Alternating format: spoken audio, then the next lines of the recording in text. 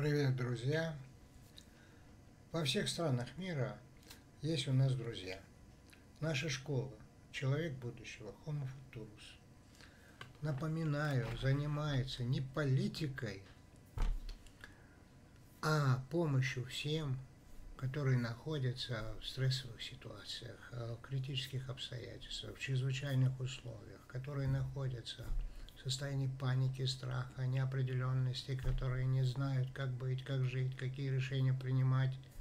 И поэтому мы сейчас поговорим о том, как снимать вот эту панику, как снимать вот эту неопределенность, как противопоставить этой неопределенности полную определенность. А определенность у нас э, всегда где?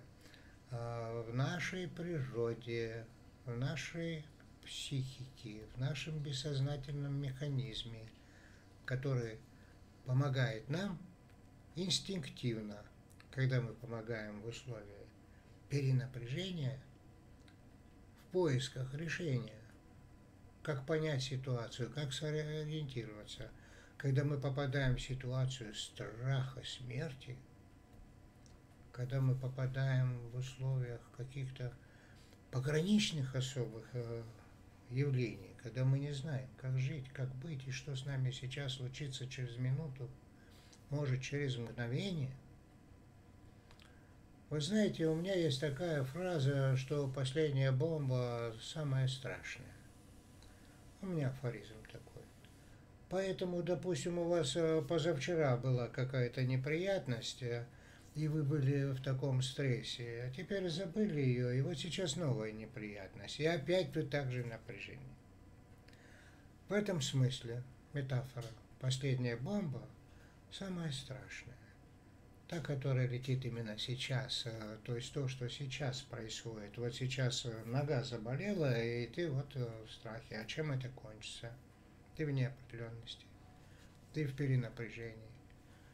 Меня попросил мой друг, он психолог, он из другой страны, и он сказал, расскажите, пожалуйста, про страх смерти, потому что я смотрю ваши ролики на ютубе, и мне очень помогает. Мне очень помогает. Я, говорит, смотрел в прошлый раз э, ролик ваш.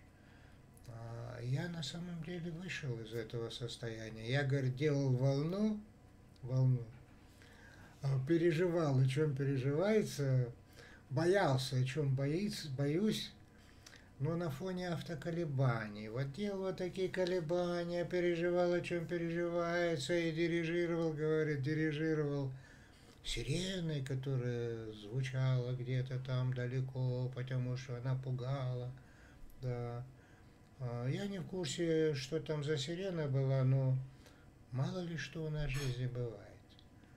Потому что как только, говорит, я начал дирижировать, я стал дирижировать этой сиреной. Я в прошлом ролике об этом говорил немножко. И как-то стал успокаиваться. Пожалуйста, сделайте ролик, как снимать страх смерти. Но это психолог. А он же знает, что людям нужно. И поэтому мне это предложил. Когда-то я был в гостях у Падре Элиджио в Италии. Падре Лиджио, который создал систему Монда X э, «Тайная жизнь» для лечения наркоманов э, без лекарств. И там они в общинах э, жили по году-два, там, значит, и мальчики, и девочки в этих общинах во всех городах Италии. И они там, на самом деле, серьезные наркоманы, они там отвыкали от наркотиков.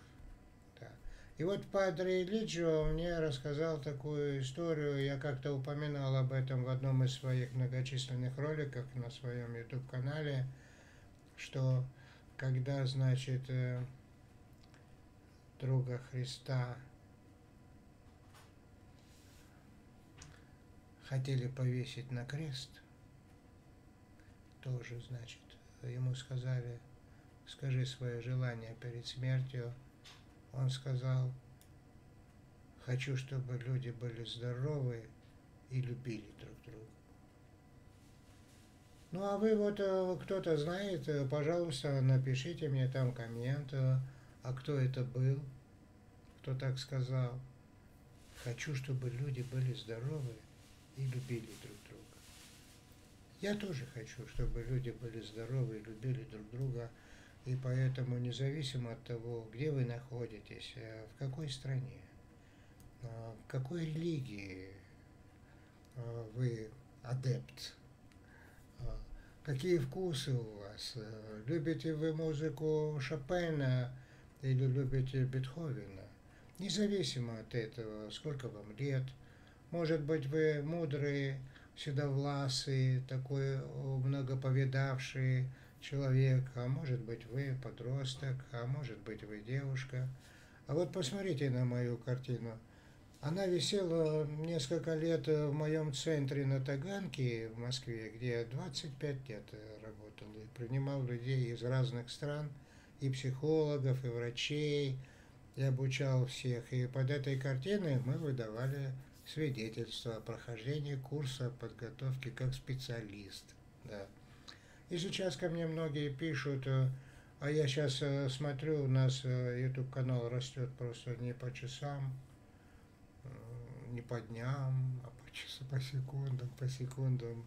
И во всех у меня сетях все время люди выбавляются, потому что им это нужно, им это интересно.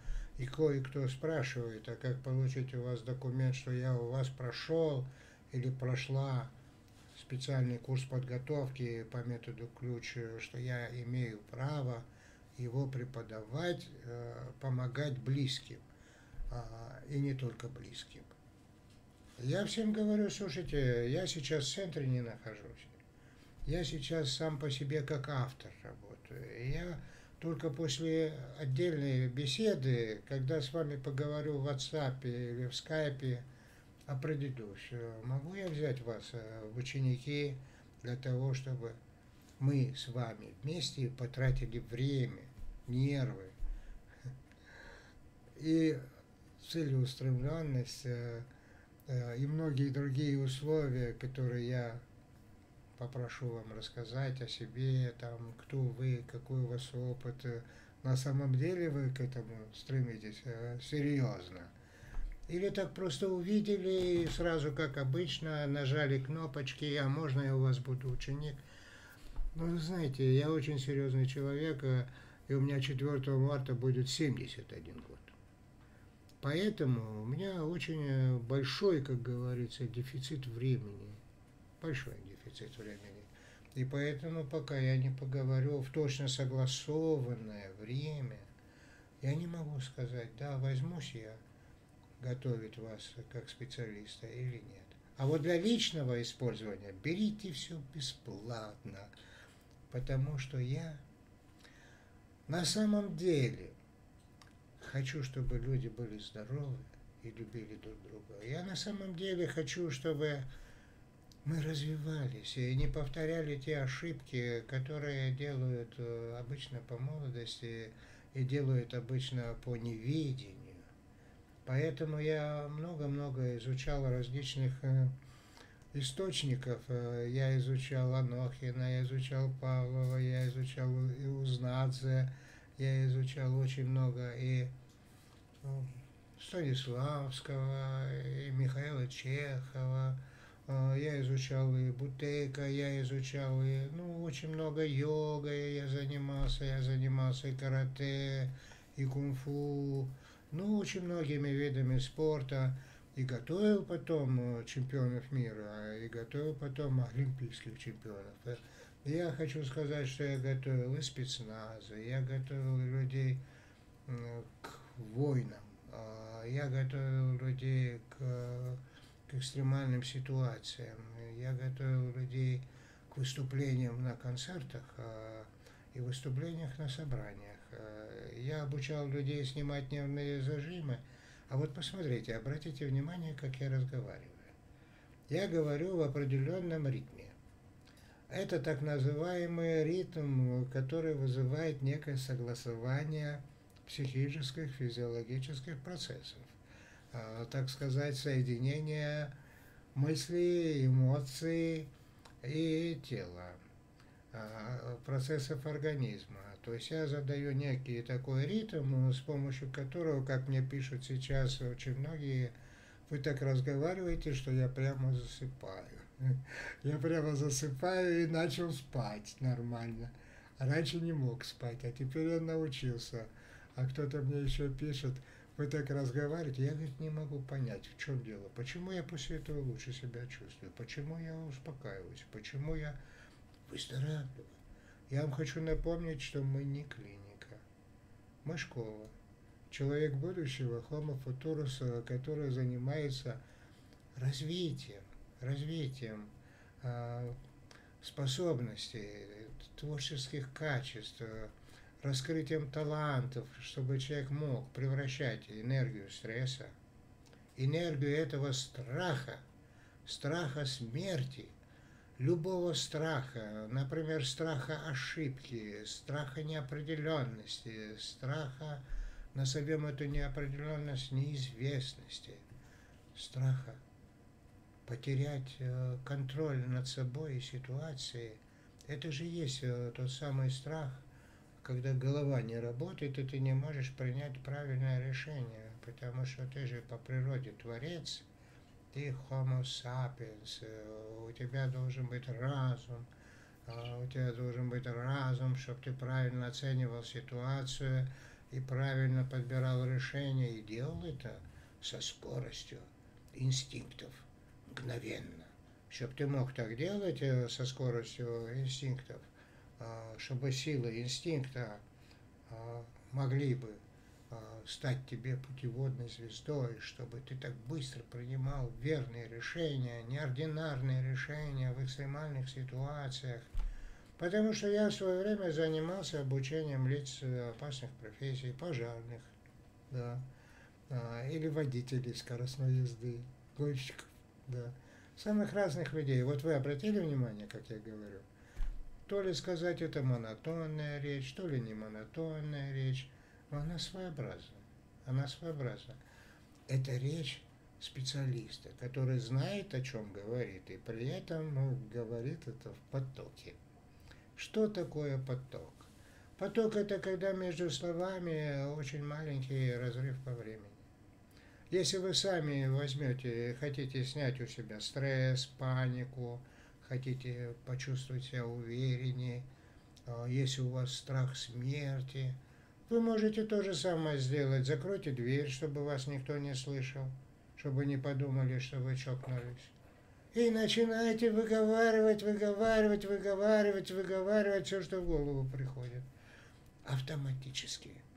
Выговаривайте, выговаривайте, выговаривайте, выговаривайте, выговаривайте, выговаривайте, как некоторые люди делают, э, когда они мне пишут в комментах, да, остановите вы эту войну, да, скажите своим властям, да, еще что-то такое. Я хочу сказать, но я же не политик. Я врач и психолог, я помогаю вам снять стресс, где бы вы ни находились, в какой бы стране ни находились. Я хочу, чтобы вы были здоровы, и любили друг друга. Я хочу, чтобы мы все были здоровы, любили друг друга. А мне там выговаривают, выговаривают, из какой-то страны выговаривают. Ну, я их понимаю, я их понимаю, но я же не политик.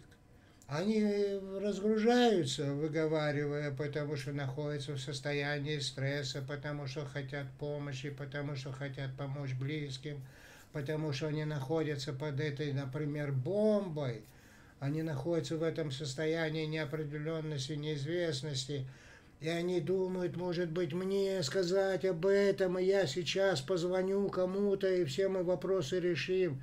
Я не занимаюсь политикой. Обращайтесь ко мне за помощью, если вам нужна поддержка, психологическая поддержка. И я не клиника – я помогаю подобрать действия, которые снимают стресс автоматически.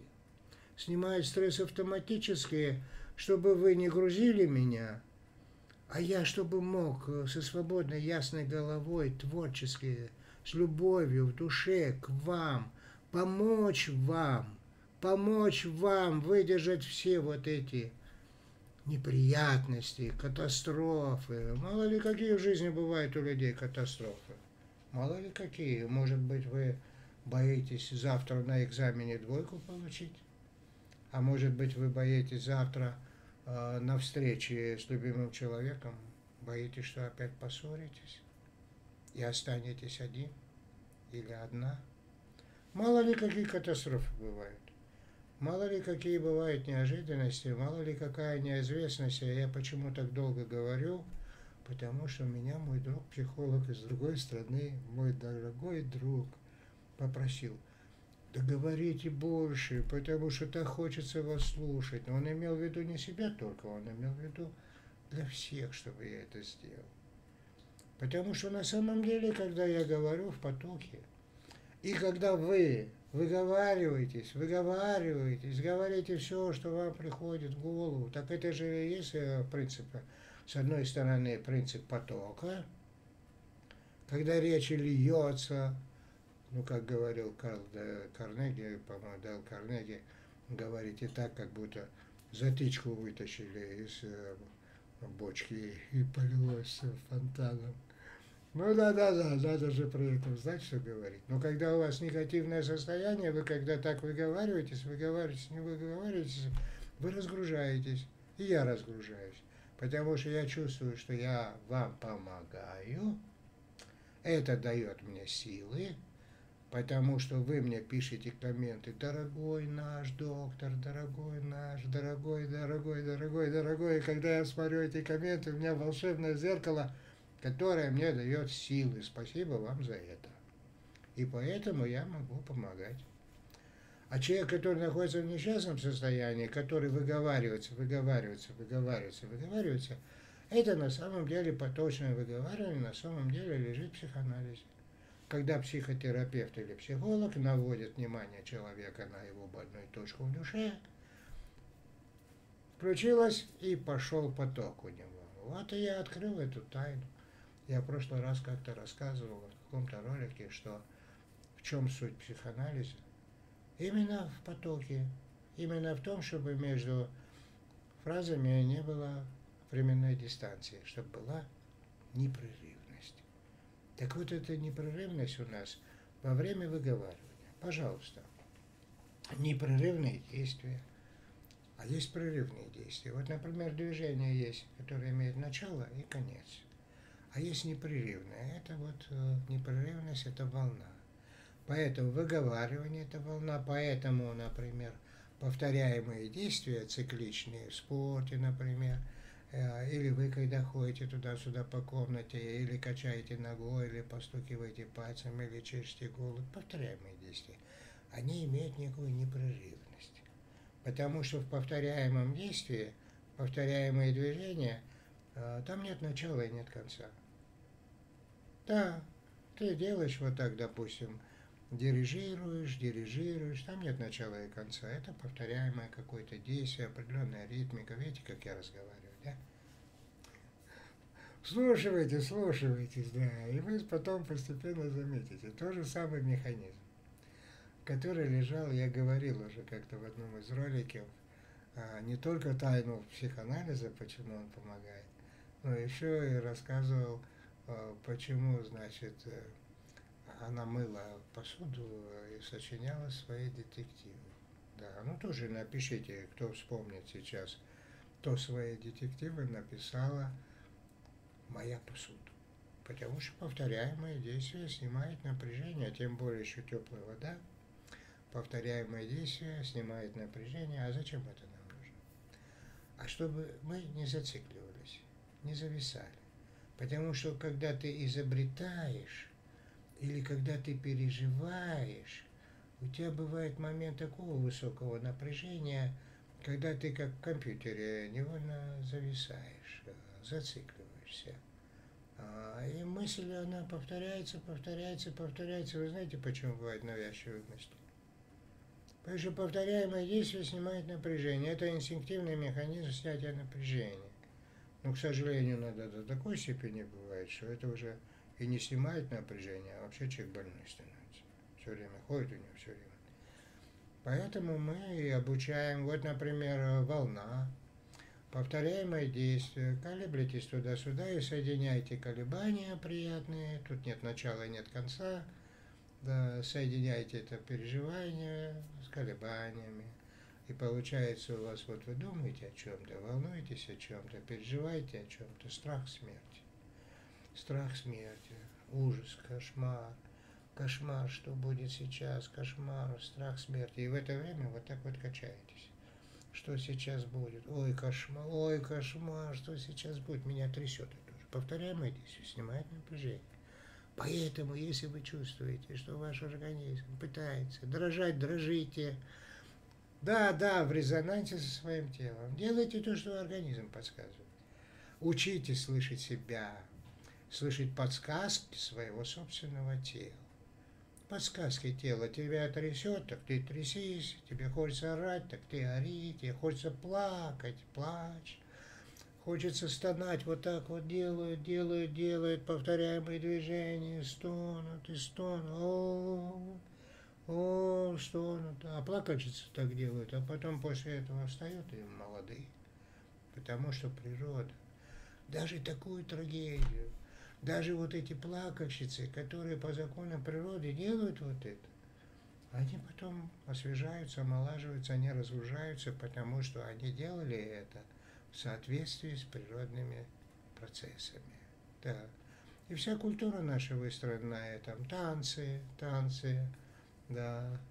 Народно-смеховая культура, как писал Бахтин. Да. А кто помнит Бахтина? Напишите, пожалуйста, чем он занимался, великий Бахтин. Да.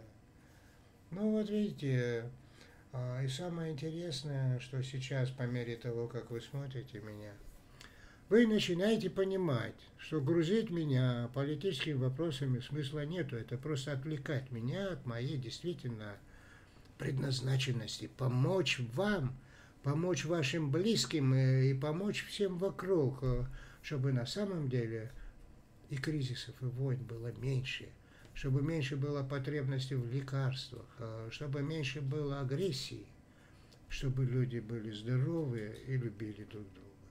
Да, да, да. Поэтому наша школа и вместе со мной очень много участников, достойнейших из разных стран мира. Мы соединяемся и создаем вместе науку человечности. Науку человечности, в которой, кстати говоря, метод ключ, метод ключ является необходимой частью, неприемлемой. Потому что когда человек в стрессе, когда он в панике, когда он в страхе, когда у него страх смерти, или страх ошибки, или страх какой-то неопределенности, когда он находится в таком диком состоянии, когда теряет разум, я помогаю вот этим методом ключ, чтобы вы подбирали себе те действия, которые вам соответствуют, лично вам что подсказывает вам ваш организм. Я подсказываю вам то, что знают э, во всех методах мира. Да-да-да, и в йоге, и в йоге существуют эти принципы, и в медитации существуют эти принципы, и спиральной гимнастике существуют эти принципы и так далее, и так далее. Только здесь мы, учитывая, что йога создавалась тысячелетиями, а, учитывая, что все зависит еще и от э, гуру, как говорится, как он понял, как он преподнес, да вы в каком были состоянии, когда его внимали, были выспавшиеся или наоборот, были в хорошем, хорошем учебном таком процессе, да, или были в тревожном состоянии, когда вы его не слышите, что он вам говорит. Вы знаете, метод ключ помогает когда вот вы находитесь в очень серьезном стрессе, проще и быстрее снимать это лишнее напряжение, э, чем все методы мира. Вы сравните потом. Сравните сами. И когда вы будете сравнивать, э, вы многое узнаете, многое поймете. Заодно ознакомитесь с другими методами. Да, все они великолепные, все великолепные, и все зависит от того, подходит вам что-то в этот момент или нет. Метод ключ – это принцип подбора путем перебора действий, которые синхронно с вашим текущим индивидуальным состоянием в момент их применения. Вот, например, вас сейчас трясет, э, что для вас будет более полезно? Потрястись. Если вы сидя или стоя встанете, например, и начнете трястись, трястись, трястись, трястись, трястись, потом вы так сядете, сделайте взгляд рассеянный, задумайтесь, о чем думаете, пустите мысли на самотек, и вдруг заметите, что то, что пять минут назад вызывало у вас панику, как-то вы стали спокойнее, потому что стали эмоционально отрешеннее, независимые, стали над этим, над этим стали, над своим страхом. И над страхом смерти то же самое. Конечно, потряслись. Откуда это у вас взялось? Не потому же, что я сказал, что повторяемые движения снимают напряжение. Не поэтому, нет. Потому что я-то это сказал, потому что так природа устроена. Так природа устроена, я заметил и сказал. Повторяемые движения снимают напряжение на всех уровнях. От пяточки до макушки и до мыслей ваших. Когда у вас очень большое напряжение, я сказал, это повторяемое действие, как птица в силках бьется, никак вылететь не может, не в свободе – то снизится напряжение, и голова освободится, и появится чувство уверенности в себе, появится разум, открывается разум, критичность, критичность, критичность. А вот если это действие вам не подходит, допустим, вас не трясет, э, и трястись не, не собираюсь, выберите другое, которое у вас э, подсказывается с вашим организмом, вашим телом. Вот у вас паника, страх смерти. Что подсказывает тело? Зацепенеть. Оцепенейте. Или что подсказывает ваше тело? Бежать. Побегайте на месте. Побегайте, побегайте, побегайте, побегайте, побегайте, побегайте, побегайте, побегайте. Видите? Непрерывность. Ритм. Ритм снимает напряжение, ритм снимает напряжение, ритм снимает напряжение. Побегайте на месте. Да.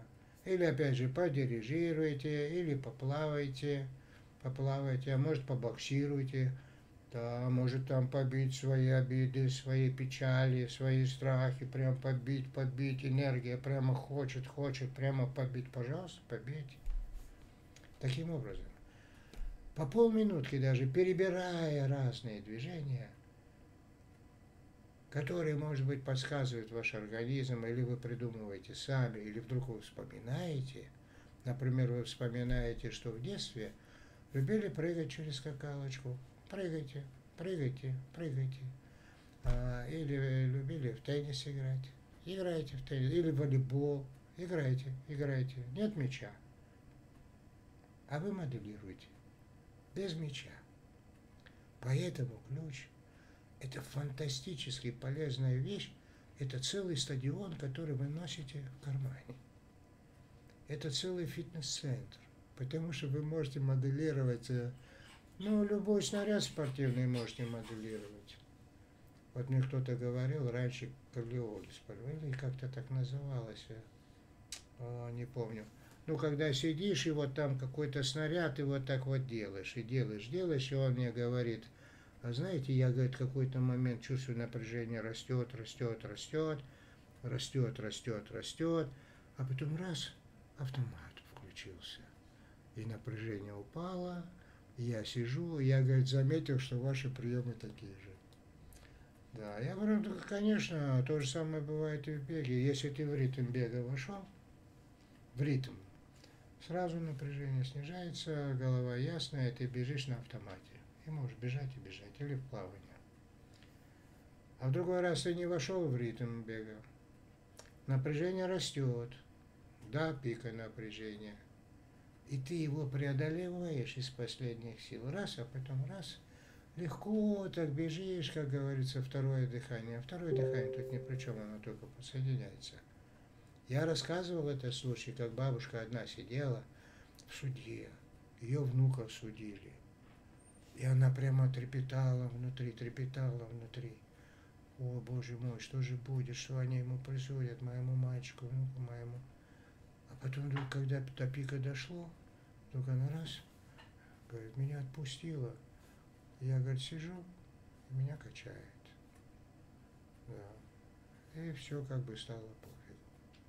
Мозг так устроен. Так если бы она в этот момент бежала, тоже бы перевалила пик напряжения, и потом бежит второе дыхание. А здесь она сидела в суде. Это то же самое. Я поэтому просто понятным языком объясняю на примерах из, из разных областей жизни. Из бега, а, из, э, ну вот бабушку рассказал сейчас на суде. Разные-разные примеры, что такое непрерывное действие, что такое прерывное действие, что такое оцепенение. Ну, инстинктивное действие – оцепенение. Вот Гуржиев тоже обучал людей своих. Гуржиев был еще учителем танца. Да, Гуржиев великий. Да. Учителем танцев. Повторяемым движением. У него танцы были такие удивительные. Да, и во-вторых, оцепенением он обучал. Да, и вы тоже, есть такое упражнение, очень хорошее. Ходите туда-сюда, по комнате, раз оцепенел. Я отпустил, потом опять ходишь, потом раз оцепенел. И когда ты несколько раз делаешь это упражнение осознанно, а не тогда, когда вдруг страх и ты оцепенел непроизвольно. Вот когда ты осознанно делаешь то, что ты обычно делаешь неосознанно, ты становишься осознанным. Все приемы и упражнения метода ключ основаны на инстинктивных естественных действиях человека и его реакциях, которые он делает непроизвольно, выходя из стрессового состояния на состояние восстановления или творчества. Я ничего новому не учу. Я говорю то, что организм сам делает. Я просто на большой статистике людей заметил, определил, и мне помогли и подсказали мои коллеги, мои ученики, мои друзья в течение моей жизни, то тоже подсказали, какие упражнения организму легче делать, э, просто среднестатистические. Например, хлест руками по спине, хлест, да, который делает человек обычно, когда прыгает в воду. А если сделать это перед экзаменом, будет такой же эффект. То есть, если ты 2-3 дня перед экзаменом делаешь хлест, переживая о предстоящем экзамене, делаешь хлест, а минуту-две, то потом, когда пойдешь на экзамен, ты успешно его сдаешь. А другому, например, не хлест подходит, а лыжник. Короче говоря, там много у меня всяких упражнений.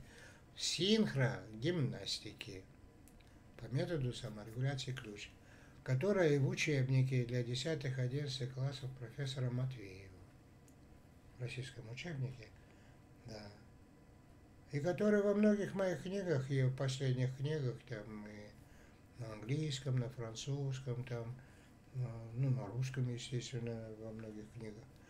Ну, а раньше, раньше, раньше, еще раньше, у меня в книгах синхрогимнастики еще не было. Это уже последние годы. Да, синхрогимнастика для раскрепощения, для снятия нервно-мышечных зажимов, для освобождения, для повышения работоспособности, для поддержания у себя хорошей моральной, духовной и физической форме а, в условиях диких напряжений. Чтобы вы могли быстро снимать стресс, вы знаете, когда вы делаете хлест, например, э, верхушки легких сходятся, расходятся, это модель искусственного дыхания. Когда человека вытащили из воды, его тоже так раздыхивают, руки разводят, сводят, да, и одновременно здесь идет э, дренаж э, шейных мышц, спазмы снимаются. И самое главное, чем отличается синхрогимнастика от вообще гимнастика. Синхрогимнастика – там вектор внимания на решение проблем, которые вас волнуют, а в обычной гимнастике на выполнение упражнений. Вот в этом разница. Это большая новость. Это всемирно большая новость. Выполняйте любые упражнения, берите йогу, берите физкультуру, берите любую гимнастику, если вы возьмете. И в этот момент, когда вы ее выполняете, будете думать именно о том, что вас волнует, и в данном случае это делаете для снятия стресса и решения своих волнующих вопросов, а не для того, чтобы правильно выполнять упражнения. Понимаете разницу, да? Берите любую йогу, любую йогу, делайте упражнения йоговские, и в этот момент отношение к этому упражнению как к инструменту для лучшего решения ваших проблем. Вот так настройтесь. Понимаете, это от отношения зависит. То же самое йоговское упражнение вдруг превратится в инструмент – да, многоцелевого назначения. Вы сможете даже йоговское упражнение превратить в инструмент для создания изобретения и открытия нового. То есть вы можете открытие там делать, если вы так правильно подойдете к этому действию. А не подходит вам для этого данное йоговское упражнение, возьмите другое. Там же большой выбор. Возьмите какое-нибудь упражнение. Вот, например, мне мой друг э, Карась Виталий из Нижнего Новгорода. Ну, доктор Карась. А, когда в Нижнем Новгороде обучал специалистов, а, а вы знаете, как интересно, он мне сказал, вот ты, говорит, делаешь, э, что у тебя там руки расходятся на автомате у какого-то процента людей. А это что за движение? Это автоматическое движение – Такое же самое, когда вы в ритм ходите, тоже на автомате бежите. Вот это автоматическое движение, если вы попробуете сразу получить, то вы сразу переходите в то состояние, когда напряжение падает, и вы выходите на состояние легкости, все говорят, легче стало. Да, легче стало. Так вот, Карась мне сказал, у вас там какой-то процент, а у меня, говорит, 100. Я говорю, так как это у тебя получается? А он говорит, просто я до этого, говорит, упражнение у кого не получается, что руки расходятся, я ему говорю, сделай, пожалуйста, три отжимания от пола. И он говорит, три отжимания от пола делает, напрягается, напрягается, напрягается, три раза, десять раз отжался, потом встал, и у него ни зажимов, ничего, он только захотел, говорит, что руки пошли, руки пошли. Да. Молодец, Карас, да? Да, молодец. Ну, у нас такие друзья, видите, не только в Нижнем Новгороде, в Краснодаре, Кишиневе, в Нью-Йорке, в Бомбее, ну где угодно. Естественно, в Киеве, естественно, в Минске. Но где только у нас друзей нету вообще. Потому что мы же все любознательные. Мы любознательные, мы же все по природе своей хорошие. По природе-то мы хорошие, если нас там в детстве не гнобили, если нас там не заставляли э, чему-то плохому не учили агрессивно, ну, мало ли что бывает, отец алкоголик еще что-то, создает у нас проблемы какие-то. Ну, а насчет того, какие родители. Ну, мало ли кого какие родители. Ну, надо помнить, э, что если бы не они, нас бы не было.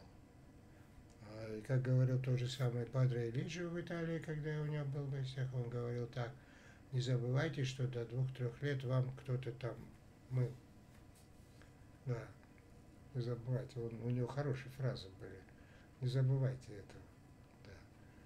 Так вот, кто умывал вас. Так вот, я хочу сказать, что мы все люди, мы все по природе хорошие. А, и вот мне недавно задали вопрос, а правда ли это нужно действительно ребенку, вот он пережил в детстве какие-то стрессы, и вот он с психологом работает, нужно ли ему Э, психологом, с психологом все эти стрессы детские вспоминать и прорабатывать. Ну, я скажу, конечно, это так принято делать у психологов, э, что они там э, копаются в этих вот проблемах, что человек испытывал, в каком детстве, там пытаются, чтобы человек вспомнил, это заново пережил, может быть, разгрузился, поменял отношение к этому. Но мы, например, по методу ключ этим не занимаемся. Мы не занимаемся этим, потому что когда человек, э, э, прислушиваясь к себе, делает либо повторяемые движения, например, волну, э, переживая, о чем переживается, страх смерти там может быть, может быть там гул какой-то, вот сейчас вот там где-то стреляют, И вот у меня страх, допустим, или там что-то случилось, вот свет выключился неожиданно во всем доме, выключилась темнота, и у меня страх, как же я теперь буду работать, меня люди ждут в интернете. Ну, по-разному, разные причины бывают, напряжение. Так в этот момент, когда напряжение, надо сразу вспомнить э, формулу, чем больше стресса, тем больше сил. Сразу вспомнить те задачи, которые у вас не решенные. Например, у меня картина, которую я должен дописывать. И тогда вот эта энергия стресса, энергия стресса перенаправляется на решение этих задач, как в айкидо, вот вы ее перекинули. А если вы ее не перекинули, если вы не вспомнили, что за горизонтом вашего состояния, что есть там цели у вас какие-то глобальные, помимо того, чтобы выйти из этого стресса. Если вы не вспомнили, то стресс может вас поглотить. Поэтому мы учимся, мы учимся. Когда мы делаем вот э, разгрузку, вот вышли из этого состояния, когда нам стало, там у нас индикатор с 10 до нуля, от шторма до штиля, а когда мы выходим на штиль, уже можем подумать спокойно, отстраненно, эмоционально. Мы же с эмоциональным интеллектом сейчас работали. Вышли на это Э, созерцательность, отрешенность, эмоциональная дистанцированность, это называется разными словами. Да, или состояние нуля называется нулевое состояние, когда мысли не сопровождаются эмоциями, и эмоции успокоились. Да, и вот вы вышли на это состояние, то в этом состоянии вы можете и помечтать, что когда вы попадаете в стресс – когда, условно говоря, бомба летит, и ты не знаешь, куда деваться, у тебя страх смерти, и ты сжался в комочек, а куда ты денешься? Это, естественно, ты не знаешь, что будет, это неопределенность. Неопределенность. И в этот момент вспомни сразу, вспомни сразу, вот ты оцепенел, это инстинкт самозащиты, инстинкт самосохранения – и со скоростью этого инстинкта ты сейчас можешь себя развивать, и со скоростью этого инстинкта ты можешь это сделать ресурсом для развития личности и решения других проблем, которые у тебя за этим стоят. Если ты мгновенно вспомнишь, вот, неприятность, страх смерти, ты сжался в комочек и вспомни свои задачи, которые у тебя есть. И ты почувствуешь, и ты почувствуешь, и ты почувствуешь, что тебе легче стало, и что ты в какой-то момент отстранился от ситуации, и что потом на самом деле, когда ты эти задачи начнешь решать, ты заметишь, что как-то ты их увереннее решаешь, откуда ты взял эту энергию. Так ты ее и взял, а потому что энергия стресса, ты ее просто перенаправил. Так можно мозг как наш работает. Ну, природный механизм. И вот когда мне кто-то там написал, очень обидную мне вещь, он написал, да чему вы там можете нас научить, когда это все в йоге есть, когда это трансовые техники. Ну, конечно, трансовые техники, а какие еще техники? Есть бодрствование состояния в моей новой модели работы мозга, четыре агрегатных состояния. Состояние бодрствования, состояние транса, состояние сна, состояние сна со сновидением и переходное между ними, вот это нулевое состояние между сном и бодрствованием. Так вот, конечно, трансовые техники, ну, и в йоге, говорит, это есть, ну, Господи. Это я вам рассказываю, что йоговское упражнение можно использовать для изобретения, для открытия. В йоге там не рассказывают. И вообще этого никогда не рассказывали. Как делать изобретения с помощью йоги? Ну, где вы это слышали? Напишите мне, я сниму шляпу, которую у меня сейчас здесь нету. Я надену и сниму, потому что буду очень благодарен. Потому что я изучаю это как специалист. Да, и мы с вами будем дружить и обсуждать. И я всех приглашаю к этому обсуждению. Найдите мне, пожалуйста, где написано, что с помощью йоги можно делать изобретения. Ну да, напишите мне. Пока вы этим будете заниматься, вы разовьете кругозор. А я приобрету друга. Потому что только почемучки становятся великими. Потому что вопрос, задать себе вопрос, это же так поразительно важно. Потому что мы в основном люди исполнители, мы себе вопросов не задаем. Мы любим подражать. Ну, так получается, потому что нас так в школе не учили изобретать. На школе учили подражать, повторять, а, стараться. Да, если не получается, повторять, пока не получится. Да, сейчас неопределенность. А мы учим в нашей школе человек будущего, Homo Futurus. Как работать с неопределенностью, как сделать, противопоставить неопределенности полную определенность. Я вам говорю, определенность ваша внутри вас – это те подсказки тела, организма, вашей души, а, которые в моменты стресса при выполнении вами какой-то задачи.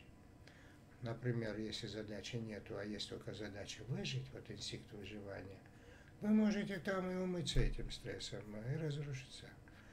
А вы как только стресс, как только паника, как только страх, страх смерти, сразу вспомните свои задачи, которые лежат дальше вашего горизонта видения, которые лежат там.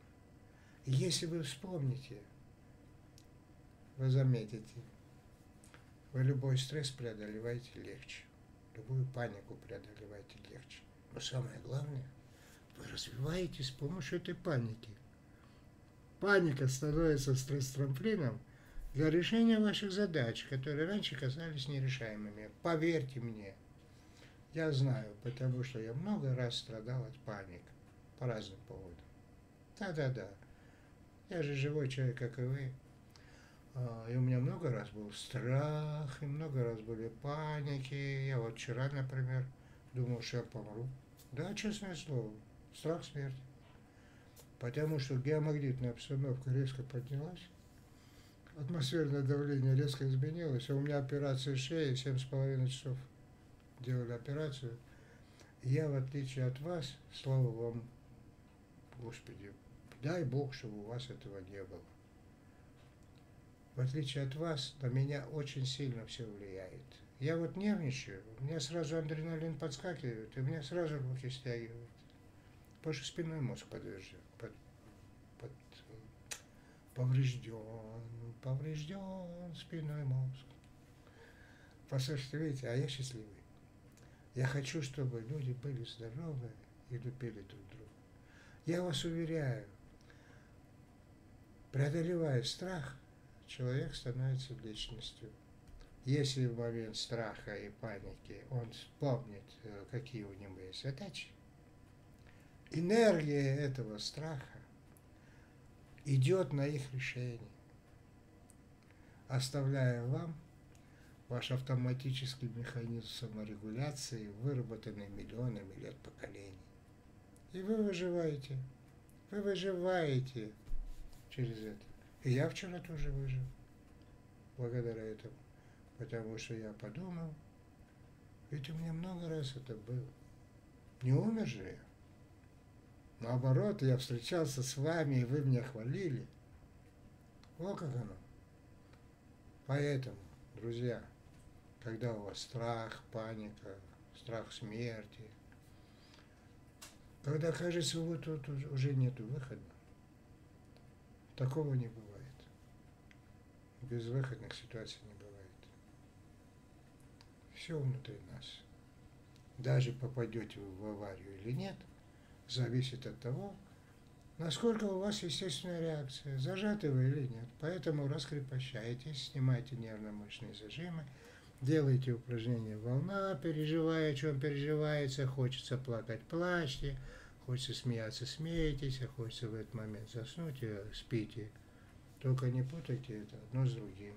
Захочется после волны спать лечь. Не надо в этот момент заставлять себя идти дрова колоть, чтобы ошибки не было. Итак, Я обещал, что я буду долго рассказывать своему другу. Я это делаю частью для него. Обнимаю тебя. И как говорится, для всех, потому что он попросил это сделать. И для всех. До встречи, друзья. До завтра.